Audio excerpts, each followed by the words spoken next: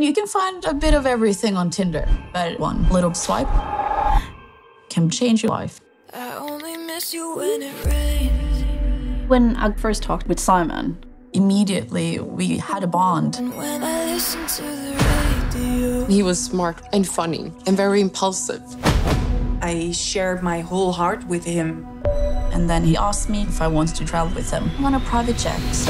I was like, shit. He took me to a five-star hotel. He said, We had a special connection. It felt like stepping into a movie. And then in the middle of the night, he said there was something he wants to tell me. He said he has threats against him. He needs our cash. $20,000. 30,000, $140,000. His life depended on me. That's when police tell me